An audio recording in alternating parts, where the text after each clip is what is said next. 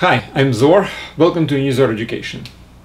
Um, today I would like to talk about specific uh, kind of equilibrium, equilibrium of a point object. So we have some kind of a point object which is a point with certain mass and we're talking about equilibrium, conditions on equilibrium and kinds of equilibrium of this particular case. Now this lecture is part of the course Physics for Teens presented on unizor.com. I recommend you to, to go to the website to watch this lecture because it has uh, parallel text uh, notes for every lecture including this one. Also um, there is a prerequisite course on the same website which is which is called Math for Teens.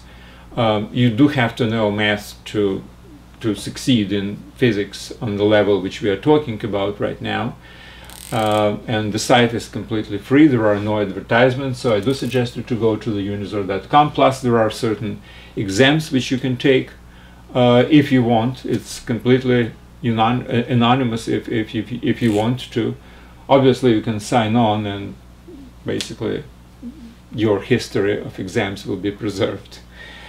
All right, so um, equilibrium of the point.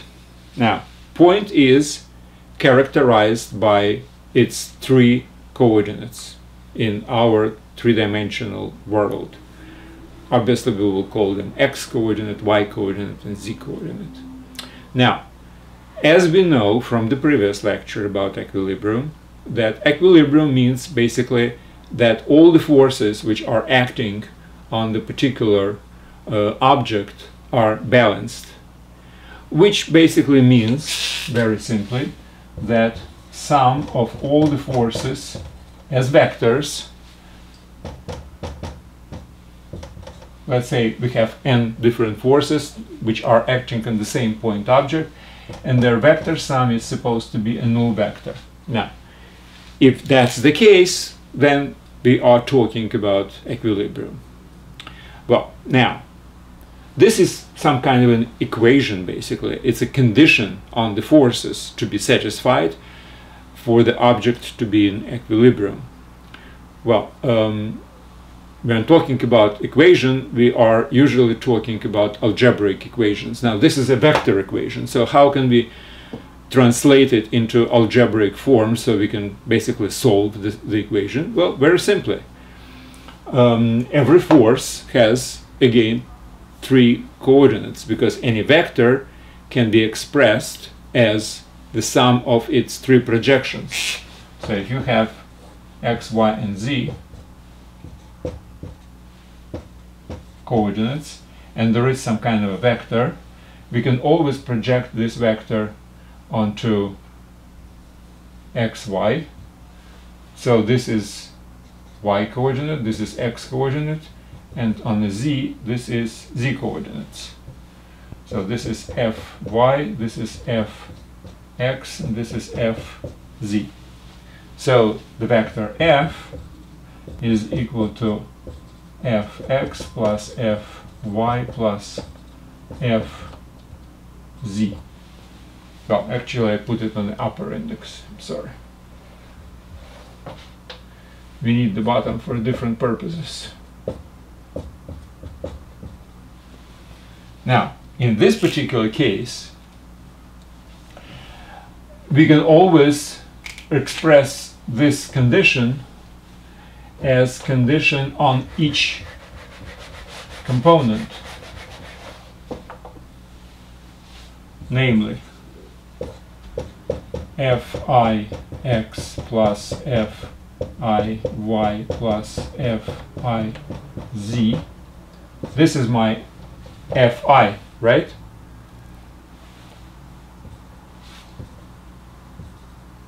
Equals to 0. Where i index i goes for every vector. Now, I can make a slight correction of this, well not correction, but transformation rather.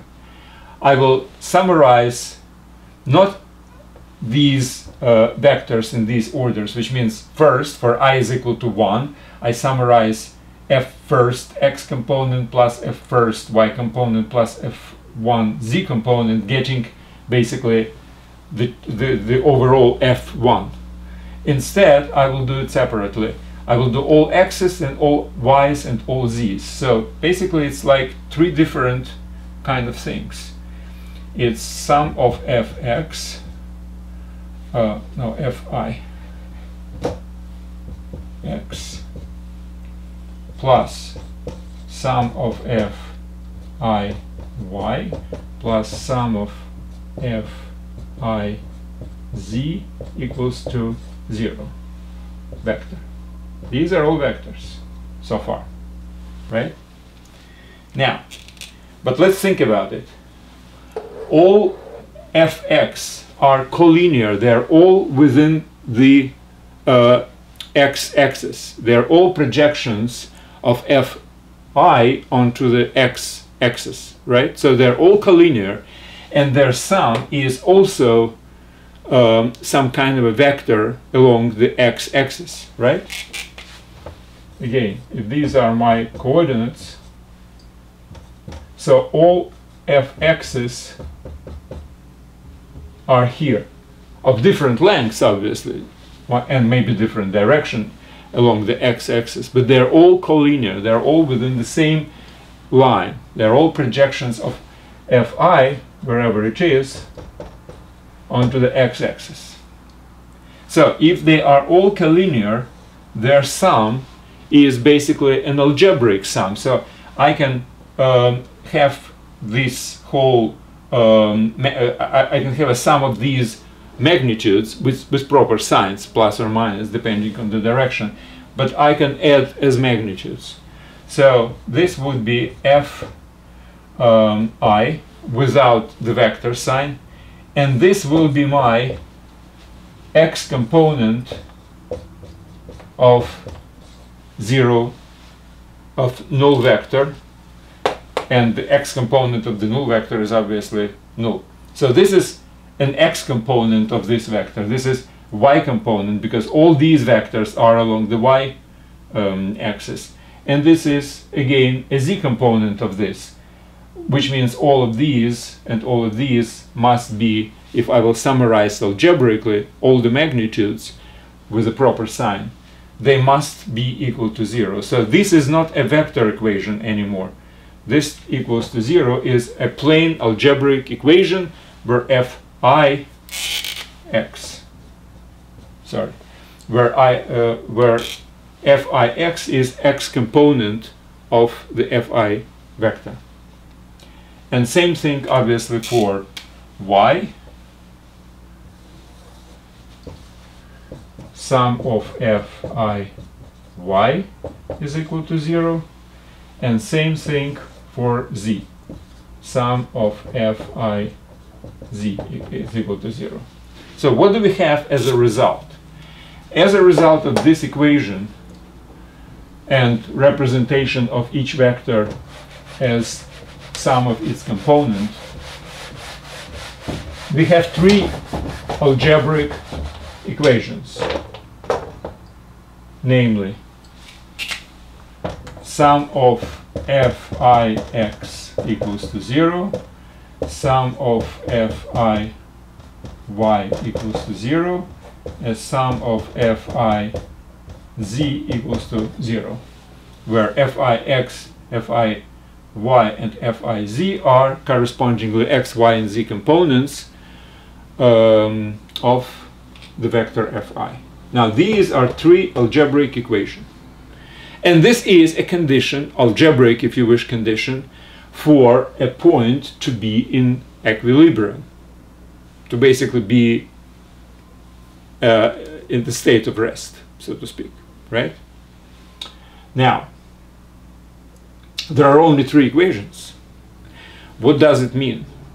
It means that if we would like to find the forces which are acting on a particular sub uh, on a particular object which result in this object to be in equilibrium we should not have more than n unknown variables right so forces are if they are completely independent and there are a lot of them then we will not be able to resolve this um, system of equation in in certain unique way. There are no unique solutions in this case. We will have more um, variables, unknown variables, than the equations. So basically, that's what it is. If you have a system which contains a point object and certain number of forces which act on it, if we will be able to find no more than three unknowns from which these forces depend upon, and I will give you an example, then we can uniquely identify these forces. Otherwise, there are infinite number of solutions most likely, and, uh, and the system would not have a unique solution. Now, let me just make a very simple example of this.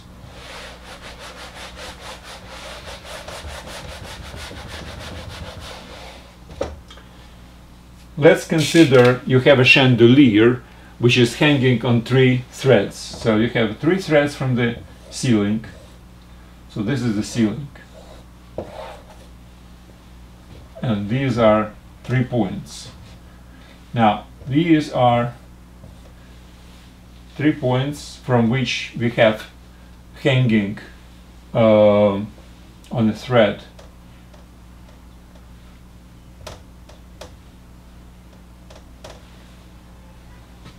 from underneath, right? So this is the ceiling. Okay, and uh, this is our chandelier. Now let's assume, for simplicity, that we know we know the weight of this chandelier. Let's also assume that these three points where it's hanging from are forming a, an equilateral triangle and these threads are of equal size, uh, equal lengths, which is obviously the typical situation. Now, um, my purpose is to find out the force of tension on each thread so I will be able to use a proper material like a chain or, or know, or a thread or a um, a rope or something else. So I have to calculate based on the weight, I have to calculate what's the tension on each thread. Now, all I need right now is basically to know certain things about geometry of this. So what I probably need as the smallest um, kind of amount of information and only one particular parameter from which everything else depends. I should know what kind of an angle with vertical each thread makes. So if you have some kind of vertical, it goes from the center of this triangle down to the uh, chandelier, and I know the angle between these uh, threads with the vertical let's call it phi. So if I know W and I know phi, now I can actually determine um, the threads, the, the forces, the, the tension forces on, on each thread very easily. Why? Well, because if this, well, because of the consideration of symmetry, obviously the tension should be exactly the same because this is the equilateral triangle and equal lengths of the of the threads. So it's supposed to be evenly distributed. So there is a force of tension here, here, and here. There are three forces of tension and they must be equal to each other. So if this is tension T, then in the vertical direction from this particular force T, I have T times cosine phi, right? So if my vector t can be um, represented as the sum of two vectors, the vertical and horizontal. Now horizontal doesn't really do anything in the vertical direction, right? And all the horizontal components are acting in different, in three different directions basically. At, well, if I will look at this from the top, I will have these three at 120 degree each and they will nullify each other. So that's why my chandelier doesn't move horizontally. But as far as the vertical is concerned we should really neutralize the weight right so three times of these because all of these projections from this force from this force and from this force on each thread tension on each thread projection on the vertical they're all collinear and that's why their sum would be just algebraic sum of their magnitudes. And that must be equal to w, from which t is equal to w divided by 3 cosine phi. So what does it mean? Well, first of all, it means that if my angle is close to zero, then I will have this cosine of phi close to 1. Now, as my angle is increasing, so I'm separating the point from, from where I'm hanging further and farther from each other, so making my threads instead of this, I will make it this. They're further from the vertical.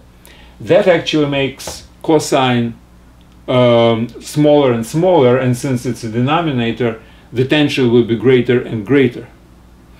All right, now imagine as our points of hanging is separating further and further and my uh, thread from the vertical becomes more and more closer to the 90 degree because the point of hanging is really going further and further. Well, the cosine of 90 degrees is zero, so the whole thing is um, is going to infinity. So the further we are from the vertical in our threads, the tougher will be to hang really um, uh, the chandelier. And if it's 90 degrees, as I was saying, it's really uh, infinity will be. Which means that if you have um, these threads hanging not from the ceiling, but let's say from the walls, okay, so if you have a room, this is the room, I'll just uh, have one particular. And instead of a ceiling, you are trying to hang your chandelier from the walls. And you don't want this chandelier to go um, to go really deep. You would like it to be almost in the same height where your attachment points are. That's impossible. So whenever, in case your chandelier is exactly at the same level as these points of hanging, this will be 90 degree. And that's why the cosine will be zero and the whole and the tension force will be infinite. So it must hang down. You cannot horizontally um, hang the chandelier. All right. So that's all about chandeliers. Now we have three different types of um, equilibrium. This is simple and quick. Let me just draw the picture and you will know what I'm talking about.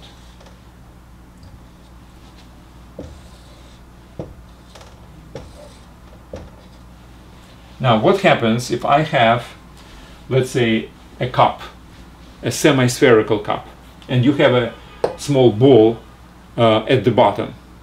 Well, at the bottom it just sits there, right? And uh, the weight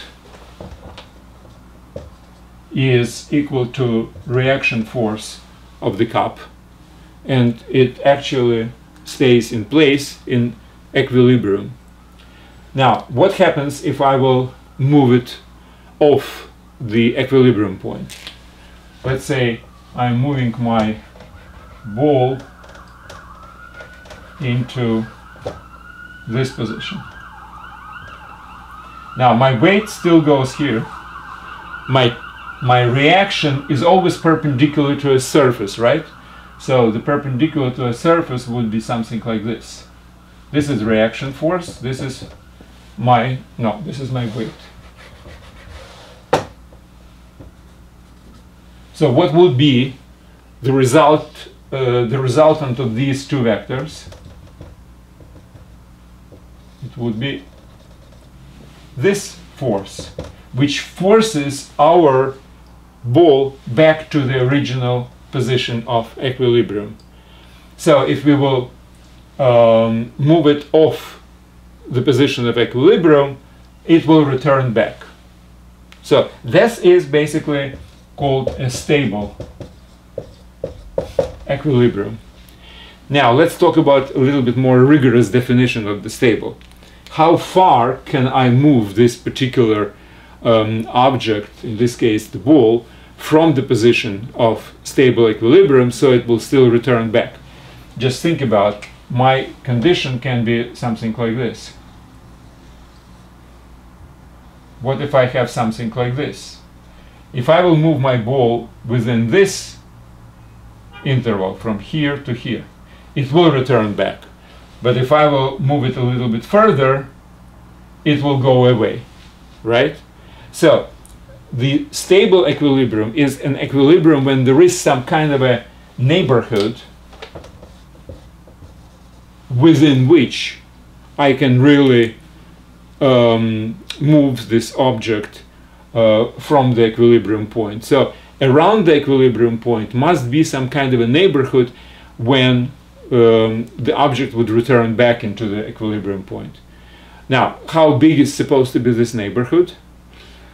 Well, it actually can be any as long as it's not zero. So basically the um, relatively rigorous definition of, of stable equilibrium is it's such an equilibrium where exists some kind of a epsilon neighborhood and from the mathematics you know what I mean epsilon neighborhood um, of the point of the equilibrium um, where if I will move it within this neighborhood epsilon neighborhood it will return back and obviously uh, it's supposed to be strictly greater than zero. That's what definition of a stable um, equilibrium is. Well, if you again remember the mathematics, um, there is a um, concept of a continuity of the function, and there is also like epsilon and delta. Neighborhoods are involved. Argument is supposed to be uh, no larger than something if you would like that the, uh, the, the, the, function value to be deviated from another no more than something, epsilon delta. In this case, it's just one particular epsilon neighborhood, where epsilon is greater than zero, must exist, however small. So it can be one millimeter it can be one micron.